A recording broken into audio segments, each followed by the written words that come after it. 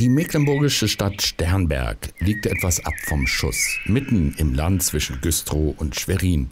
Das Sternberger Land gilt als Geheimtipp für Naturliebhaber, ideal fürs Biken, Wandern oder Angeln.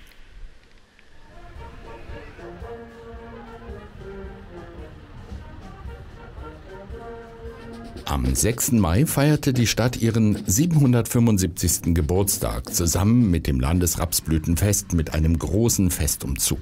Eine ganze Region war auf den Beinen.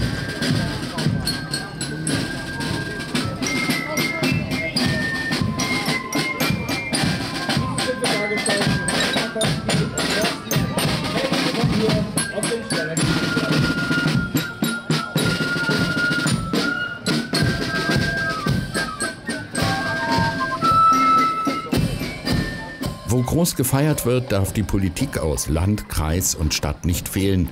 Seit dem 1. Mai ist die neue Bürgermeisterin von Sternberg im Amt, Katrin Häse. Die Wahl hatte die SPD-Kommunalpolitikerin mit 38 Stimmen Vorsprung im Februar gegen Amtsinhaber Armin Taubenheim von der CDU gewonnen. Am 6. Mai feierte sie nicht nur Stadtjubiläum und Rapsblütenfest, auch ihren 50. Geburtstag. Die Sternbergerin weiß, was die Stadt stark macht.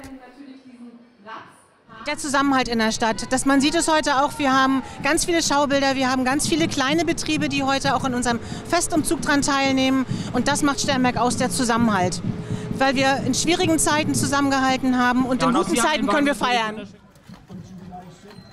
Die Geschichte der Stadt zieht in verschiedenen Bildern vorbei, angefangen bei den Slawen im 9. Jahrhundert bis hin zu den FDJ-Lern aus DDR-Zeiten.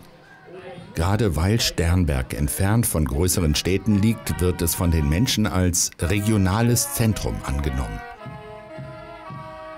Der Landrat des Landkreises Ludwigslust-Parchim ist der Stadt nicht nur aufgrund der Namensgleichheit zugetan. Wenn man hier nach Sternberg kommt, wenn man sich das alles mal erlebt, wenn man unten am See ist oder die Vereine hier, es gibt ein ganz reges Vereinsleben hier, das ist ein großer Zusammenhalt. Und wenn man sieht jetzt hier 775 Jahre, wie hier seit einer Woche, wie viele Veranstaltungen stattfinden, das Stadtrelief, was wir über die Sparkassen unterstützt haben, das Heimatmuseum, was gerade überarbeitet wird, also hier entsteht wirklich viel. Und Ministerpräsidentin Manuela Schwesig hat sogar Verwandte in Sternberg. Die Welt ist klein.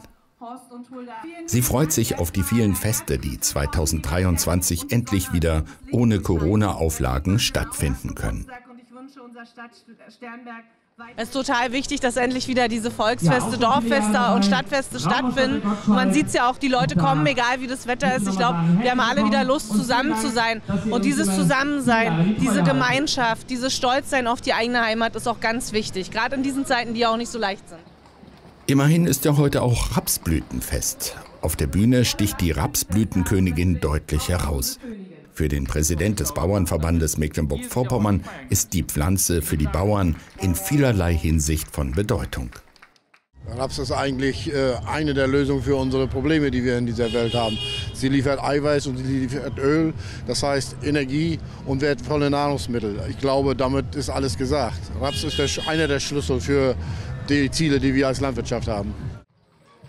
MV1 gratuliert natürlich auch zum Stadtgeburtstag und verabschiedet sich mit Impressionen vom Umzug.